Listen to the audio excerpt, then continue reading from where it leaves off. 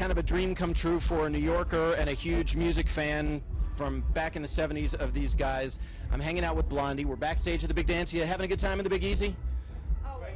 W- w- will you have an opportunity to have a beignet and, uh, you, you know, a little powdered sugar? We've You're gonna pass that. yeah. Cafe Du Monde. Cafe Du Monde. You got to go. Even a, a tourist, as a local, they all go to Cafe Du Monde. Yeah, it's a cool place. We went to Mother's last night. Oh, right on. Nice. You're done. Little, You're- the coffee's a little,